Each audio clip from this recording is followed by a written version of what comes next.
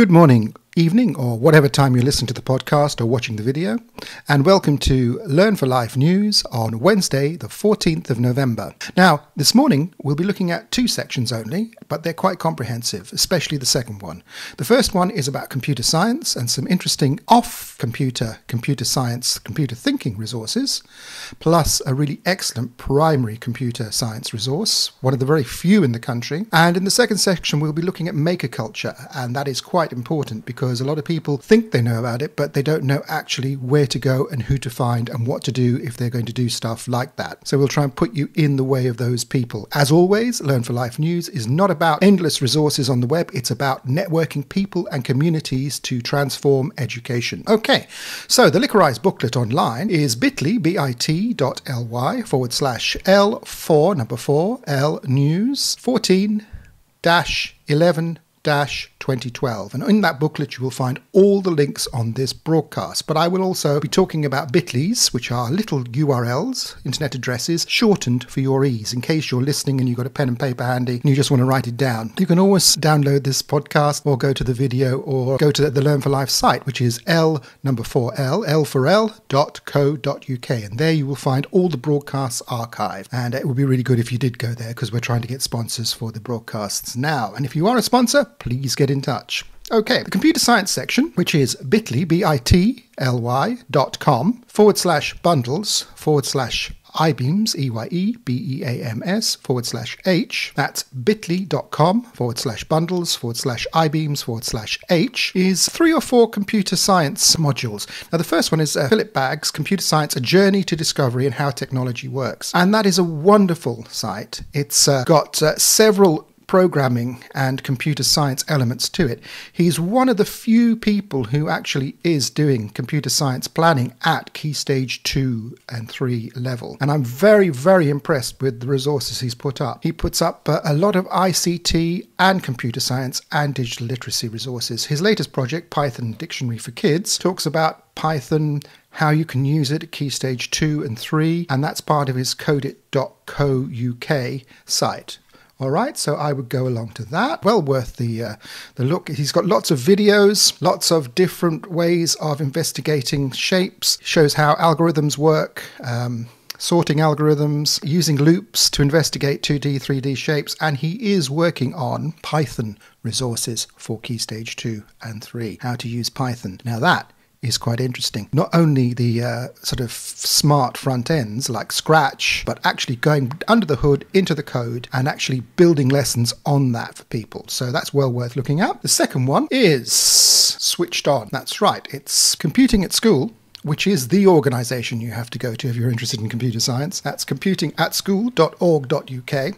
But this particular bit.ly leads to the link of the newsletter, which is a brilliant, wonderful newsletter. It's bit.ly, bit.ly forward slash switched on, underscore switched on. I keep forgetting to give people the underscores. bit.ly dot bit.ly forward slash underscore switched on. The reason I put an underscore in sometimes is that the URL is already taken, so I put an underscore at the beginning or at the end. The autumn newsletter is full of amazing information. How do we teach our kids to code? Um, it talks about the localized hubs that computing at science, uh, computing at schools has started to grow from the ground up. So your localized groups, who are the people there? What are they doing? They're working on the uh, network of excellence, building a network of really good practitioners, really good computer science practitioners like Philip Bagge, and showing where they are and how you can get in touch with them and how you can grow that network, how you can get people empowered to do this practice. And computer science is one of the great, really interesting parts of the curriculum, or will be, because it involves reflective thinking, problem solving.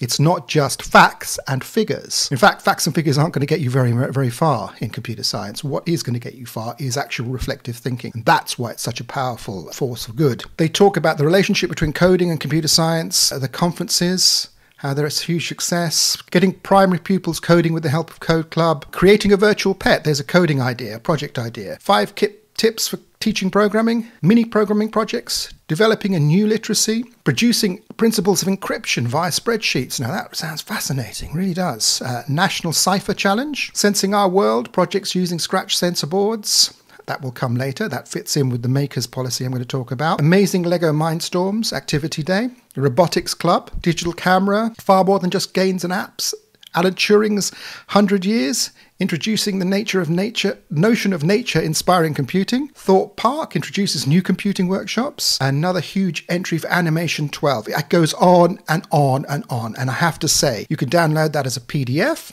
And the link to the site where you can download it as a PDF or read up on the web is bit.ly forward slash underscore switched on go there because that really is a brilliant resource. Okay, two resources now to do with computing away from actual boxes or machines or digital circuits or whatever you want to call it, anything that's wired up. The first one is Computer Science Unplugged, and that is bit.ly forward slash CS Unplugged. And it's computer science without a computer. The free activities for classroom or home where you can actually look at concepts like binary numbers, algorithms, data compression, and you can take your time and it tells you and shows you through videos and uh, downloading the book how to use these different activities with your with your students or with your own children and have a great time. What i used to call body maths where people actually get bits of card or paper or even themselves or using their fingers and using their heads to actually solve problems.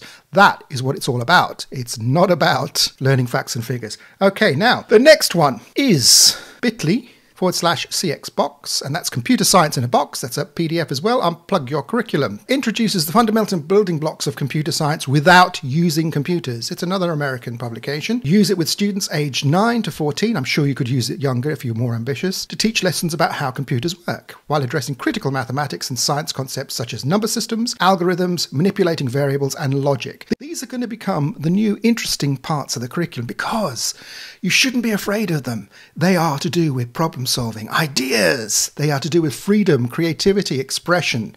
And I think really people need to understand that with critical thinking and computer science. That's a real freedom of uh, expression for the teacher in the future. And you can be as creative as you want. It's up to you. What we don't want are endless lessons about creating loops or doing formulae or algorithms in certain ways. What we want is get, getting people to think about exciting, interesting ideas. And in many ways, the key stage one, two curriculum could be the, the sort of um, crucible for this kind of practice. So have a look at those too. That is bit.ly, B-I-T, ly forward slash csbox. Now, the second half of the show is going to give over totally to quite a lot of links. You could just go to bit.ly.com forward slash bundles forward slash eyebeams forward slash i. And this section has a very comprehensive set of links about digital makers. Now, why am I talking about digital makers? Well, basically, Nesta has introduced a whole set of call outs for digital makers. There's a fund of £225,000, which isn't very much in the whole scale of things to get people interested in creating digital makers. This is getting young people to become creators, not just consumers of digital technology. And as this show is about digital culture, I think this is really important. It's seed funding, it's chicken feed for what you want to do. But with these links, actually, you'll be able to find someone in an area near you who's already doing it. This is just pump priming into getting younger people interested in this whole maker technology. The maker fairs and places where people gather to make stuff using electronics or even paper technology or anything bolted together is a well established culture over in the States. It came over here a couple of years ago in the Newcastle Maker Faire, and now it's all over the country. So, this particular site, the, the uh, Nesta site, you can read the background to that, is bit.ly forward slash Nesta underscore makers, and that talks about the different uh, ways in which you can apply for this fund. Okay, the first call is backed by a fund of 225,000. Then they make they expect to make a small number of grants between 20,000 and 50,000 alongside a package of tailored non-financial support. Now, the purpose of the Makers program, it's ubiquitous. They go beyond the smartphone in your pocket or the computer at home. Digital technologies touch every all of us all the time, everywhere. We walk down the street, they're, they're there. It's a creative process of making a product or digital artifact from websites, apps, games, 3D animations. What they want to do is to support things like making new products that can help teach digital making skills in new ways or drive participation from new groups of users. So they're inter- interested in different venues for learning. So the web, home, clubs, work, play, camps, schools, shopping centres, sporting events, and gigs. And in short, we want ideas on how to reach young people where they are. Now, that's very, very interesting because they're actually funding a, a, a mechanism to bind people together. They're actually the egg in the cake of the new social uh, integration to do with this. No longer are people learning just at school, they're also learning outside of school in different groups. So they want to keep uh, these features in mind uh, collaboration, peer based learning and sharing, assets that can be widely shared, replicated, and repurposed, the web as a platform. It has to be sustainable. It has to have clear opportunities for skills progression, and that means job markets in the long run. So you're creating these serendipitous, cohesive collection of people to actually boilerplate new economies. Now, think about that. That's a very powerful idea. New partnerships to achieve goals. So, it's open until the deadline of Thursday, the 10th of January. Okay, and there will be a web chat from 12:30 to 2 p.m. on 29th of November, and then from the 10th of December to uh, 12:30 to 2 p.m. there'll be a workshop in London at Nesta. 12th of December there'll be a workshop in Manchester. 14th of December a workshop in Edinburgh. 10th of January another web chat. Uh, you can complete an expression of interest submit a short video, look at the core criteria, and what they won't support with this fund are single events, Supply of kit, materials aimed solely at teachers because obviously it's a more ubiquitous call to get people learning and teaching and learning from each other and create new communities, new institutions, new structures, new opportunities. And business as usual, they won't fund people who are the big business players who want to get in there and do that that exist already. So, who is eligible to apply? All sources and sectors, all types of organizations, communities, charities, large and small, social entrepreneurs, businesses, academia, public services, and other. So, how do they apply? Right, well, go along to bit.ly forward slash Nesta Makers. And if you want to see a bit of background to the whole thing, go to Nesta Digimake. That's bit.ly Nesta Digimake. So as you can see now, I'm going to work through some of the things that are already out there. Some of the business, as usual, already out there, but these people may well be people who will get involved with this. First of all, I'm going to look at hackspace.org.uk. Hackspaces, they're physical spaces where people learn, socialize, collaborate on projects. They're a bit like Teach Meets, where people come together socially in the evenings, but these are over several weeks and people get together and they bolt together and make digital stuff. And they teach each other, and they're informal networks of people who are sort of making geeks. They want to put stuff together and make it and find out how it works. Started off in uh, San Francisco, in Vienna, in Berlin. It's springing up all over the place. So hackspace.org.uk is the list of the different different places in England where these groups are, and it's a wiki about what that is. So that bit.ly is bit.ly forward slash hackspace wiki. From that, you've got the UK hackerspaces.org, and that will tell you all the places where all this kind of stuff is going on. So that's bit.ly forward slash UK hackerspaces. And I wanted to include a couple of exemplar places where you could go. And this one is Brighton Maker bit.ly forward slash Brighton Maker. It's a video capture or video film of the Brighton Mini Maker Faire 2012, which was held in September and is usually held in September, give you a flavour of what people do at these making fairs and how they make stuff and how they come together. It's very family oriented. It's very interesting to see all the sort of panoply of different things that people bolt together, make together. And that's really useful. And the other one is the Newcastle Hackspace, Makerspace that's a good site to go to. I would go to bit.ly forward slash Newcastle Hackspace, and that is showing everyone about its community owned and run workshop in, in Newcastle upon Tyne. And they're an eclectic group of makers, creatives, programmers, scientists, engineers, and they've set up a space to meet, work, socialize, share ideas, and collaborate. These are highly social spaces. I often say years ago, geeks were geeks on their own in their bedroom. Now, because of social media, they come out and they find people who are like themselves. And they actually enjoy and thrive on these social meetings.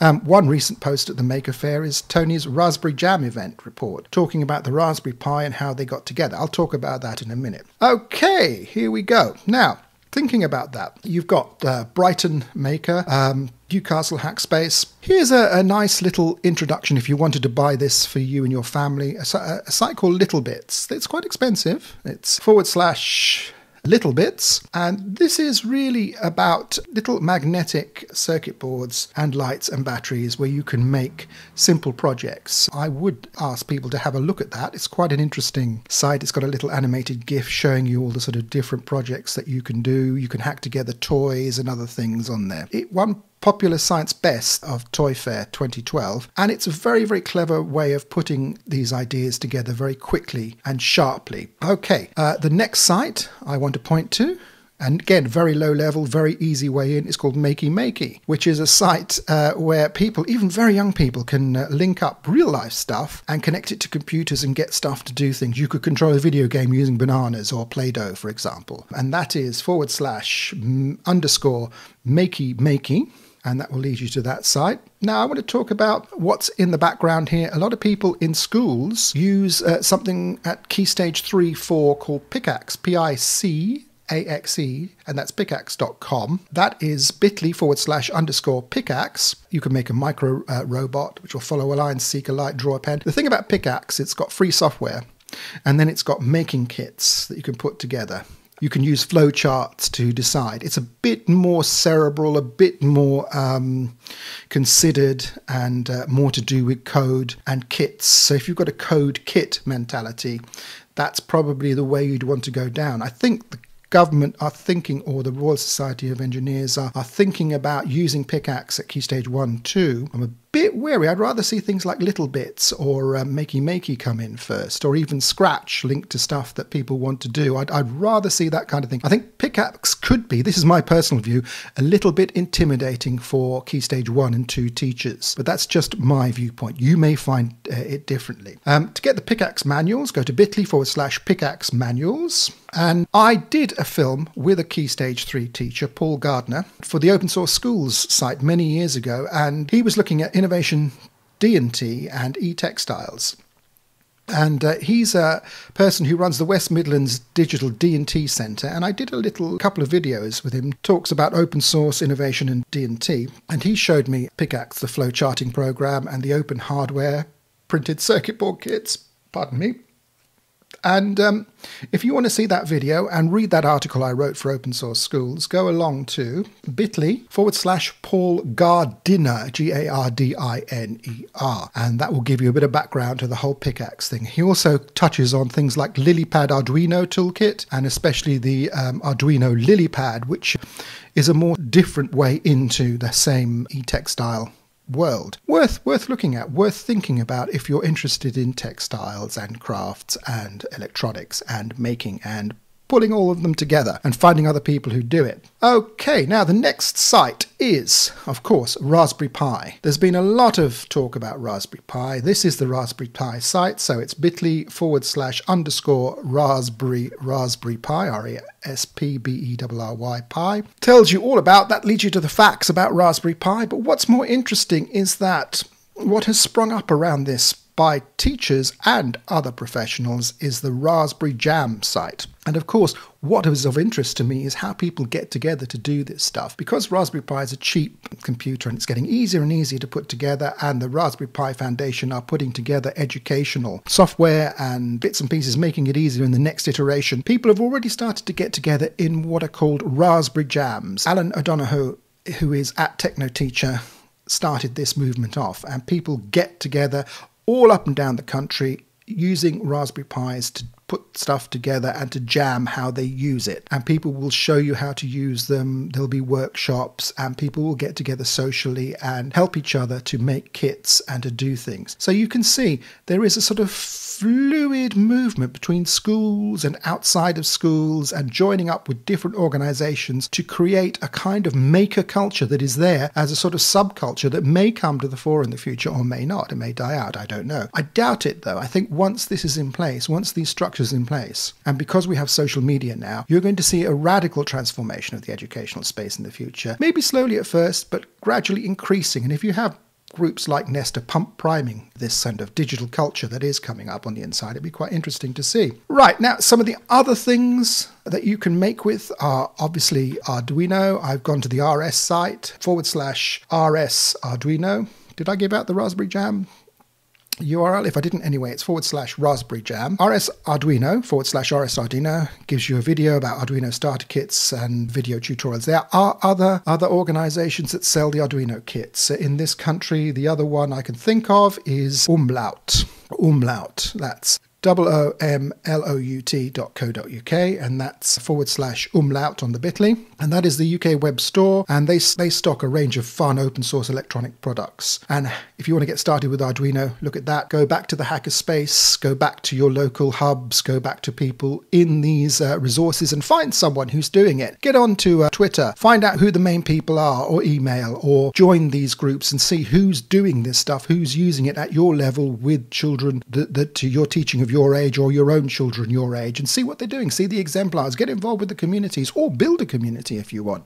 And the last site in this section is, of course, the wonderful Adafruit, and that is bit.ly underscore Adafruit, and they do lots of stuff to do with wearable computing, all kinds of amazing projects. They're a project based Arduino and other tech firm. They're based in the States, and of course, you have to buy the stuff from the States. I don't know if there's a supplier here, but they do have Arduino compatible stuff. They do have uh, Raspberry Pi compatible stuff. They're always building projects. They've got tutorials, videos, they're on YouTube. Well worth, well worth the visit is Adafruit. So there you have it. The Maker Fair in one or the Maker Culture in one. It, that should give you enough information to go off and have a good look and uh, think about making and Maker Faires. Things like this are coming back. Chess, chess clubs are coming back. Activities that actually demand that people reflect on and then do in terms of the pedagogy are really, really powerful and they can transform our education system. So the Licorize booklet, again, don't forget, is bit.ly forward slash L for L News 14 11 2012. And there you will find all these links. You can also go to l4l.co.uk. We're on Mixlr, Mixcloud, Audioboo, all of the outlets so you can actually get today's program on mixing and making. And the last spot is, as usual, dedicated to our uh, wonderful leader who today used the phrase the soft bigotry of low expectations again about teachers and their assessment of children. He actually got that phrase from Mr. Bush over in the States. It's a repackaged phrase, a rhetorical phrase, guaranteed. Put uh, put a, a, a, bomb into the middle of the teaching community. It's it's pure rhetoric, easily taken apart. I think you know ra- rather than have the uh, the soft bigotry of, of of low expectations, maybe you should have the full on bigotry of saying I value what you say, but I'm going to completely ignore it. But there again, you know that's up for grabs. This site, it's the Independent again. They've had quite a few good articles on our glorious leader, and this is thriving schools to close to make room for academies. And what worries me about this is that it's showing about the effect of some academies are having on good schools in similar areas. Now, this was not meant to happen, but this is bound to happen as more schools become academies or more primary schools and secondary schools that are failing or seen to be failing by Ofsted, the arm of government, in terms of this policy, which is highly politicised. In my viewpoint, these good schools in those areas who aren't becoming academies are being sucked dry by the actual process of academization around them. So therefore, it's it's causing them to have a few problems. This school is facing closure. This is uh,